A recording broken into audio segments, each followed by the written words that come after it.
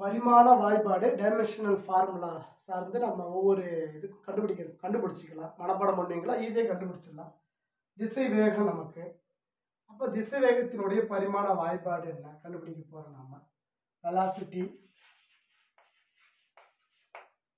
displacement by time taken அப்போ இடப்பெயர்ச்சி by காலம் இடப்பெயர்ச்சிக்கு எவ்வளோ எல் காலத்துக்கு எவ்வளோமா நமக்கு? கேபிட்டல் டி பயன்படுத்த போகிறோம் டி மேலே போச்சு என்ன வரும்? பவர் ஒன்று இருக்குது மைனஸ் ஒன்று ஆட போதும் அப்போ எல்டி பவர் மைனஸ் திசையகத்தின் பரிமாண வாய்ப்பாடு. Dimensional formula velocity L T power minus one acceleration முடுக்கம்னா திசைவேகம் பை காலம் நமக்கு.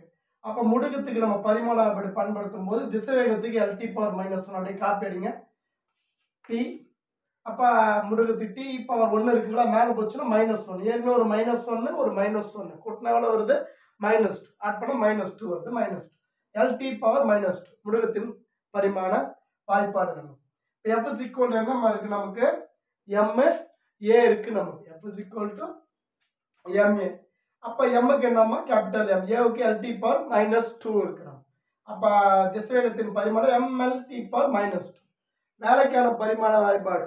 ஒர்க் டன் நமக்கு விசை இன்ட்டு இடப்பெயர்ச்சி விசைக்கு எவ்வளோ M L T power minus two எஸ்ஸுக்கு L அதை இங்கேருந்து கண்டுபிடிச்சதை கால் பண்ணியிருக்கேன் நான் அப்போ L into L one L square M L square T power minus two இப்போ ஒர்க் டனுக்கு பாருமா M L square T power minus two அப்போ ஆற்றலுக்குடைய பரிமாண வாய்ப்பாடும் சேம் தான் M L square T power minus two தான் நமக்கு இப்போ நம்ம என்ன செய்ய போறோம் நம்ம அப்படின்னா அப்படியே நம்மளுடைய பிளாங்க் மாறிலினுடைய பரிமாண வாய்ப்பாடு அப்படியே கண்டுபிடிச்சிக்கலாம் பிளாங்க் மாறிலினுடைய பரிமாண வாய்ப்பாடு e ஈக்குவல் e நம்ம என்ன பிடிச்சிருக்கிறோம் நாம?